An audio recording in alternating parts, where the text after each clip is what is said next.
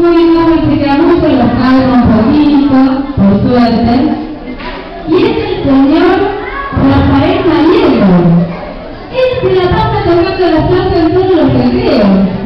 ¡Ay, qué lindo que está escuchando! Y ahora le damos la oportunidad a todos para que nos escuchen. Rafael nos va a tocar en su flauta dulce La Primavera, que es una de las composiciones Los malos somos egoístas y los que compartir con ustedes.